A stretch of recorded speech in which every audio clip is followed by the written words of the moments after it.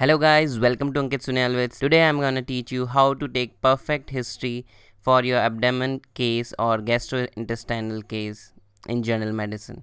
So let's start.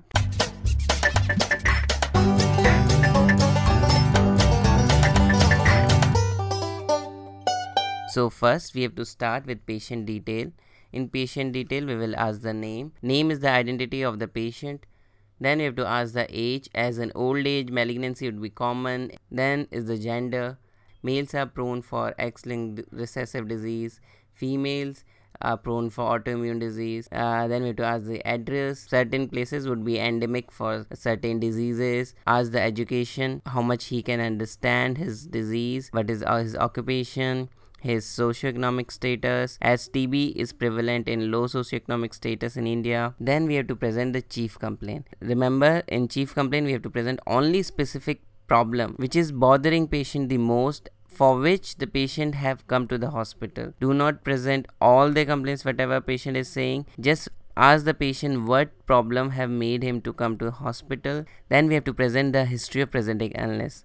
You have to present it like patient was apparently well these many months back when he or she noticed abdomen distension then you have to elaborate all symptoms whichever patient is saying with their duration and chronological order. Remember, history of presenting illness should be clear and should be easy to understand for everyone. In history of presenting illness, you can omit the irrelevant details.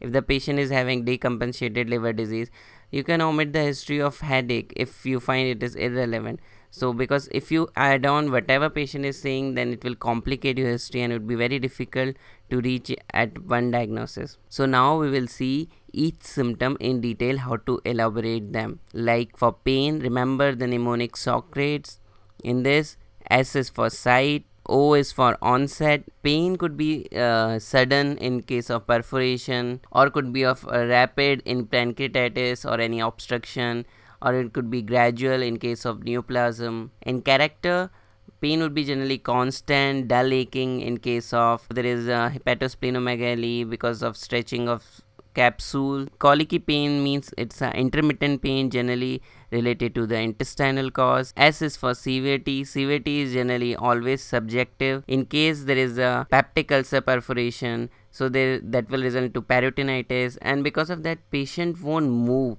patient would be sitting idly or or lying down he won't make any movement because by making any movement his pain will aggravate. So you can know the severity is high. In case of intestinal or uh, gallstone disease patient will keep on changing his position and location as he won't get the relief. Then is the radiation whether the pain is radiating from the epigastric region to back in case of pancreatitis. Pain from the diaphragm could radiate to the supraclavicular fossa through phrenic nerve which is known as Kehr's sign. Then you have to ask whether it is associated with vomiting loose motions what is the duration uh, how is the course what are its aggravating and relieving factors. Then here the common uh, differential diagnosis for abdomen. In case of abdomen distension you have to ask how is the onset? Insidious sudden or gradual? How is the progression? Whether it is associated with leg swelling or facial puffiness? Generally with the case of ascites when there is a abdomen distension it will result to stretching which will result to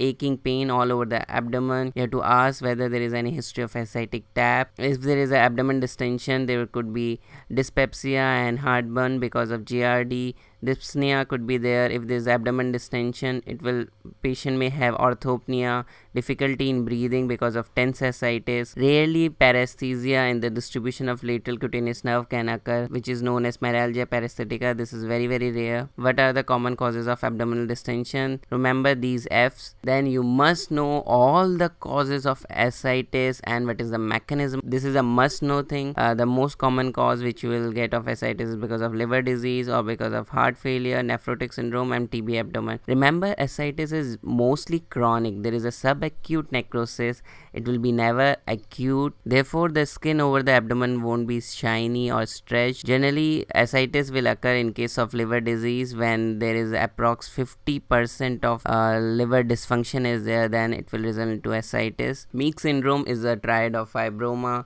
with ascites and with pleural effusion. There is a difference between anasarca and ascites. Ascites is localized but anasarca is a generalized swelling in the body with genital swelling is also present. The most four common causes is nephrotic syndrome, liver disease, congestive cardiac failure, malabsorption or hypoproteinemia. Then you have to ask the history of dysphagia.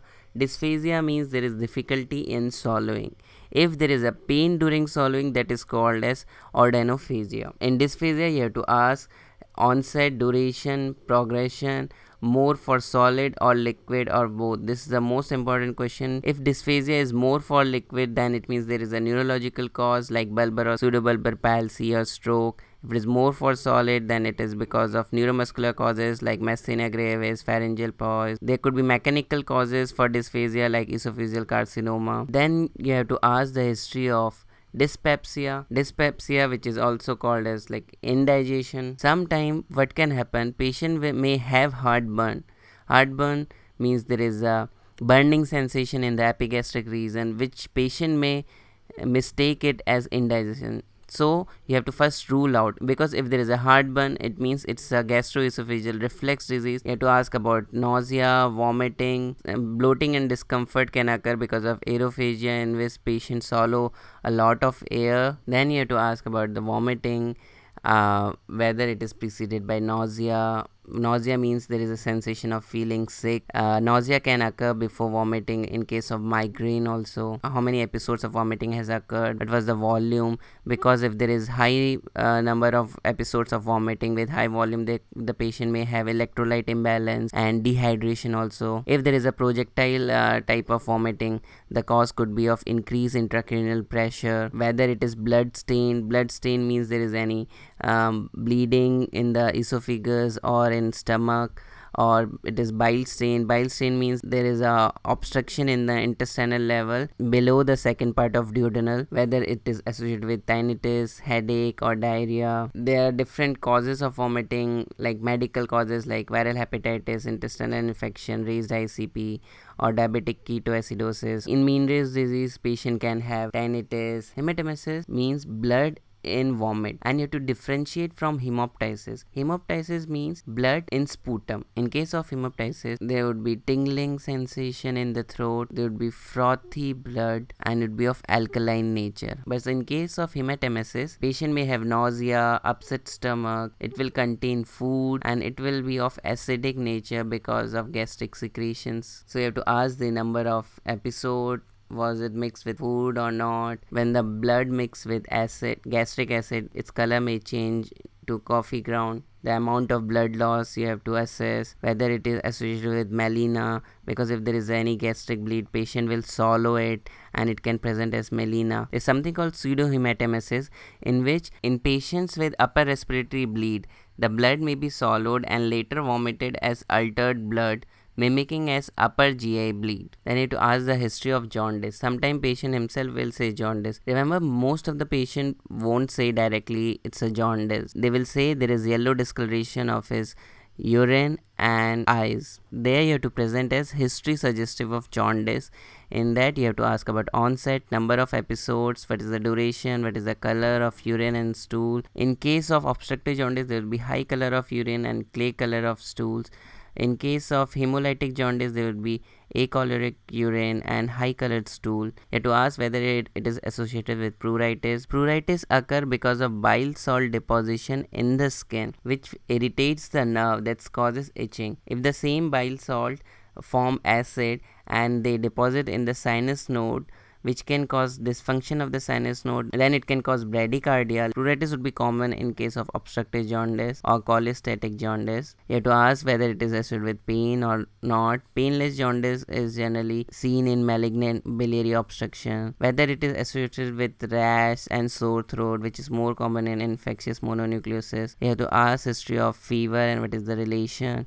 Like generally in viral hepatitis, uh, jaundice will occur after the episodes of fever. You have to ask any history of anti-tuberculosis drug or anti-malaria drug. Then in the history of fever, you have to ask how is the onset, what is the duration, what is the progression, whether it is associated with chills. Chills is because of sensation of cold which will result into vasoconstriction at the skin. Rigor occur because of increase in the hypothalamic set point which will result into piloerection, muscle contraction which will present as shivering, teeth chattering. The common causes of fever with chills is malaria, UTI, cholangitis, lung abscess. Then you have to ask whether it is associated with rise in temperature. Normally there is a phenomena like in the evening cortisol will decrease and BMR will will increase. But in tuberculosis this phenomena is exaggerated. So therefore evening rise of temperature will occur in case of tuberculosis whether it is associated with vomiting abdomen pain loose motions fever with jaundice you have to suspect malaria leptospira typhus hepatitis. Here i would like to discuss fever in detail because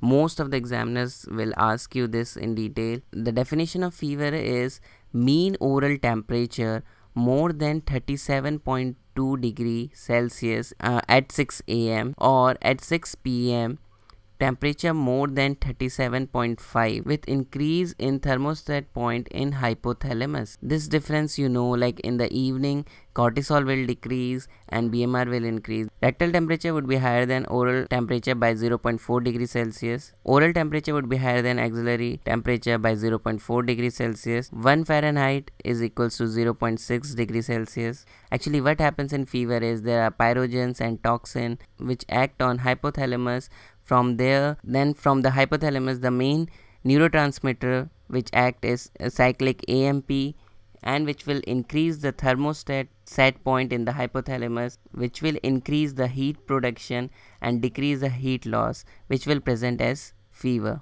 if there is increase in 1 degree Celsius, it will result into increase in pulse rate by 10. This rule is generally followed in case of fever. But in certain diseases, there is something called relative bradycardia where temperature is increasing but pulse rate is decreasing. The common diseases are typhoid, brucellosis, leptospirosis, meningitis, viral influenza. They are fever with rash, fever with one day of rash would be of chickenpox, fever with rash on the fourth day commonly would be of measles. With rash on the seventh day could be of typhoid. Fever with rash with duration less than 7 uh, days uh, disease could be of dengue. There are certain tumors which can also present with fever. The most common tumor which present with fever is renal cell carcinoma. Other tumor which can present with fever are osteosarcoma ewing sarcoma. Then there are different patterns of fever like continuous fever where the temperature never touches the baseline. The most common cause would be of lobar pneumonia, infective endocarditis. The other type is remittent fever where temperature will fluctuate but it will never touch the baseline. The common example is step ladder fever in case of typhoid. There's something called intermittent fever where the temperature will touch the baseline and it will keep on fluctuating. The cause could be septicemia.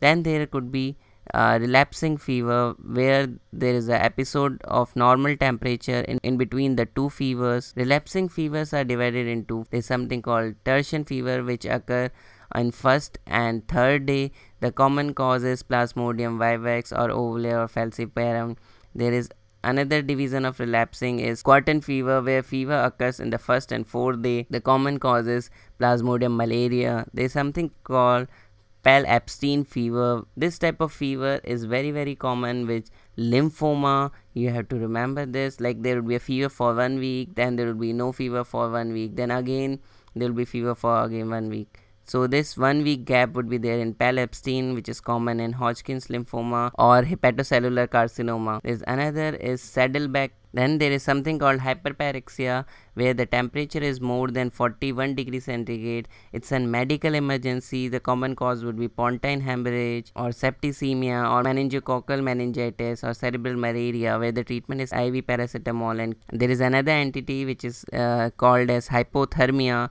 where the temperature is less than 35 degree centigrade and there is another entity which is known as hyperthermia where there is uncontrolled increase in the temperature but hypothalamic thermoregulatory set point is normal and unchanged. In this there is no pyrogen involved. Therefore antipyretics do not work in case of hypothermia. There are certain types like heat stroke malignant hyperthermia neuroleptic malignant syndrome. In this the treatment is physical cooling or giving ice saline so here the differential diagnosis of fever. Generally mass per abdomen uh, goes more for the surgical case rather than general medicine case. In the history of stools you have to elaborate like what is the amount what is the consistency what is the color. Melena is a black tarry sticky stool which is offensive and the other causes which you have to rule out for melena is if the patient is taking uh, iron tablet or bismuth or he has taken some charcoal. For melena there uh, it requires approx 60 ml of blood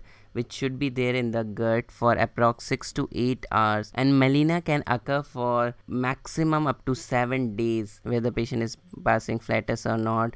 There because there could be complete intestinal obstruction also whether it is associated with blood or mucus worms in stool tenesmus tenesmus means patient will have feel to need the pass the stool but his bowel would be empty. The most common cause would be bacillary uh, dysentery or inflammatory bowel disease or impacted stool. There could be history of steatorrhea. Steatorrhea is a clinical feature of malabsorption, which would be like bulky, smelly.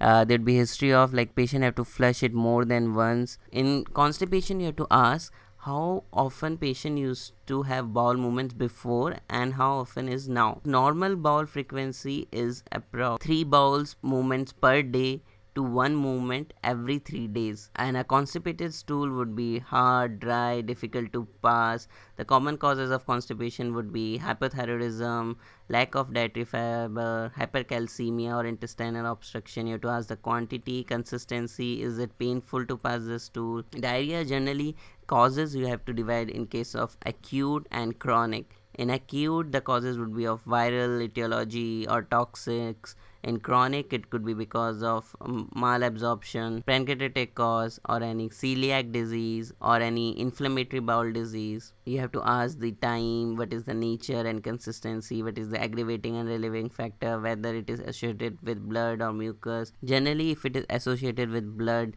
uh, in the diarrhea, the cause could be mostly like Shigella uh, or E. coli or inflammatory bowel disease. Uh, in case of cholera, the color of stool could be like rice water. You have to ask about any drug or recent food history or travel history. If there is if the patient give history of blood in stool, then you have to elaborate by saying what is the onset, duration, progression, what is the number of episode. Remember this word hematochezia. Hematochezia means there is a bright or frank blood rectum. What it denotes is there is a bleed distal to ligament of Treitz. You have to know in the GI if there is a bleed below ligament of Treitz, it is known as lower GI bleed. If there is a bleeding upper to the ligament of Treitz in the second part of duodenum, uh, never forget to ask about uh, any feeling of dripping or frank blood, uh, which could be a clinical feature for hemorrhoids. Uh, the differential diagnosis for rectal bleeding could be hemorrhoids, anal fissure, inflammatory bowel disease, or any colon cancer. Then in the urine, uh, history, I have to elaborate what is the daily amount as there could be oliguria in case of hepatorenal syndrome because of uh, cirrhosis of liver what is the color uh, color could be like uh, burgundy color of urine could be there in cause of porphyria. What is the frequency? Uh, there could be increased frequency and dribbling of urine in case of benign prostatic hyperplasia. There is be feeling of incomplete voiding. To ask whether there is any pus discharge or burning sensation in case of UTI or pyelonephritis. Whether it is associated with blood in the urine in case of urinary tract injury or any intravascular hemolysis is there. If through the chief complaint and your history presenting unless you suspect it's a case of lymphoma then never forget to ask the B symptoms. B symptoms are fever, drenching night sweat, pruritus after the alcohol intake, and weight loss more than 10%. If these symptoms are there in case of lymphoma, it means the prognosis would be poor. Pedal edema could be there because of malnutrition or cardiovascular disease or any hypoproteinemia. There is something called ascites precox. In this, ascites will occur and then later on leg swelling will occur. This the uh, the common cause would be cirrhosis or pericarditis. Never forget this pericarditis. In pericarditis there is selective partial constriction of hepatic vein which is entering the right atrium. So it will alter the hepatic venous drainage which will result into hepatic dysfunction and oozing out of ascitic fluid. In renal pathology uh, there would be facial puffiness also with with pedal edema. In cardiac, generally pedal edema would be at the dependent parts like ankle. Then you have to ask history of easy fatigability, weakness and tiredness. Easy fatigability means small amount of work which he used to do uh, easily before but now he is feeling fatigue in that that is called as easy fatigability. Remember this is very very important to ask the history of other systems central nervous system. You have to ask because it could be related because of wilson disease or hepatic encephalopathy or because of gaucher's disease which is a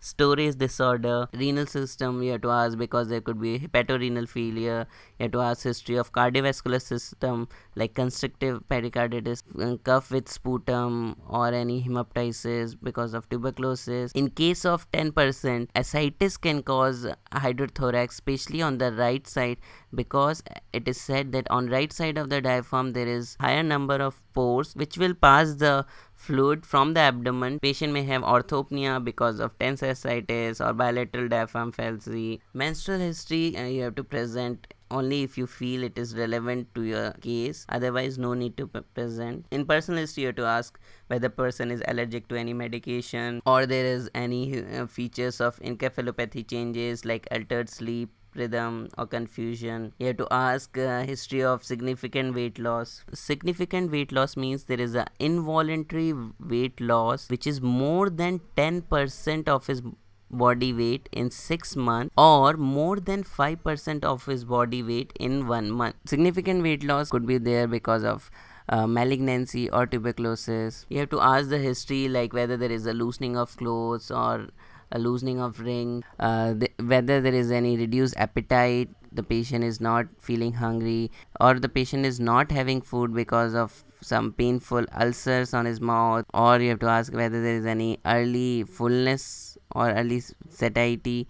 Uh, due to organomegaly or malignancy in the abdomen which is compressing the stomach to ask the history of addiction especially alcohol and smoking we'll be discussing smoking history taking in detail in respiratory system as smokers are at risk of esophageal carcinoma, colorectal cancers, Crohn disease, and POD. Then you have to ask the diet history because in vegetarians or pure vegans there could be deficiency of vitamin B12. We have to ask history of skin tattoo because skin tattoo is a risk factor for hepatitis B and C. Uh, you have to ask about any high risk behavior. Why alcohol history is very very important because alcohol can affect the hepatobiliary system by causing alcoholic hepatitis. Remember in alcoholic hepatitis person can have fever. Because of the inflammation there would be a fever. In alcohol history you have to ask what is the type what is the frequency what is the quantity then you have to calculate how many units the person is consuming what is the duration. If the patient has stopped drinking then you have to ask sober since when when was the history of last binge the other histories which are uh, supposed to ask but you can skip also if you do not want to where he used to drink what was the purpose where whether he was accompanied or alone what is the money spent on his drink what is his attitude towards alcohol. Now let's know some basics about alcoholic history. Like there is some safe limit for alcohol like for men it is 21 unit per week and for women it is 14 unit per week. There is hazardous drinking like if when men is drinking 3 unit per day and the woman is more than 2 unit per day. There is a difference in the safe limit of gender because of their metabolic response toward the alcohol is different in men and women. You can calculate the number of unit through this formula. Number of unit would be equals to volume into per percent of alcohol content wholly divided by 1000 uh, approx 1 unit is equals to 1 peg which is approx 6 ml of the spirit like whiskey or gin or vodka which is equals to 10 ml of ethanol. Uh, there is a definition for alcoholism where you cannot uh, classify all the persons who are drinking alcohol as a alcoholic. Person would be alcohol dependent or alcoholic where the alcohol is causing a medical problem uh, dependence problem a psychiatric problem a social problem in his life. Now uh, through DSM 5, there is a new term alcohol use disorder where alcohol related all the disorders are categorized under one heading, which could be classified based on these 11 questions you have to ask, where you can classify the person under the category of mild, moderate, and severe alcohol use disorder. Uh, but for the clinical purposes, still the CAGE questionnaire is very, very common. But you have to remember it, it can only suggest a problem drinking when uh, there is more or equal to two questions are answered to positive. As it is very easy to remember it will identify heavy drinkers but it is not very sensitive. In past history to ask whether the person had similar episodes like this or there is any history of jaundice blood transfusion. Remember if there is any positive past history tabulate it in chronological order for whether they have traveled to any endemic uh, places. Uh, the endocrine history is important here because primary biliary cirrhosis and autoimmune hepatitis is associated with thyroid disease. Non-alcoholic fatty liver disease is associated with diabetes and obesity. In the family history remember always draw a pedigree chart and a family tree and mention about whether there is a consanguineous marriage or not. Because in consanguineous marriage there is autosomal recessive diseases are very very common. You have to ask whether there is any such illnesses in family especially like jaundice or liver disease. Uh, because like wilson disease would be common or hereditary spherocytosis is very very common. You have to rule out all these diseases. Never forget to take social history. Like most of the examiners uh, stress on this social history because we often tend to forget to take social history. In social history you have to present like whether the person is married or not how many children he is having uh, whether he uh, lives with family or, or alone because we need to ask whether there is someone uh, who is there to take care of him or not. The components of social uh, history is education and occupation upbringing home life financial condition what is the home type lifestyles community support, sexual history. Then you have to summarize your history by mentioning the patient's age, his occupation, with his chief complaints. If through your history you have come across some diagnosis, then mention all the positive history which are pointing toward your diagnosis. Uh, diagnosis, then you can present his chief complaint, his positive uh, history, and some negative history to rule out other diseases. And then you can give your differential diagnosis in the sequence of priority. Like number one, I'm thinking of this number two thing. So generally uh, the common cases would be of ascites. Ascites itself can have lots of causes which you have to go through. There could be a case of hepatosplenomegaly, leukemia, lymphoma, generalized lymphadenopathy, Wilson, or hemolytic anemia. Uh, here are the three points which you should remember while presenting your case remember you can ask whatever you want to ask but uh, during your exam present only relevant history. Because uh, whatever you will present examiner will be asking you why did you ask this? If you do not have the reason then you will be in trouble. So it's better to present only relevant and significant positive and negative history which is pointing toward your diagnosis and negative histories which are ruling out diagnosis. So this is very very important. Must remember it always. And present the positive history in detail. Whatever are the positive history present them first then present the negative history. If the examiner say i'm running out of time or you uh, there is very less time to save the time you can say if there is no significant history then you can present like no significant history. Instead of saying no history of jaundice or such illnesses in family so instead of uh, elaborating the family history you can just directly say no significant family history and you can move on to next heading. This is just optional. All the best guys. See you in my next video. Bye bye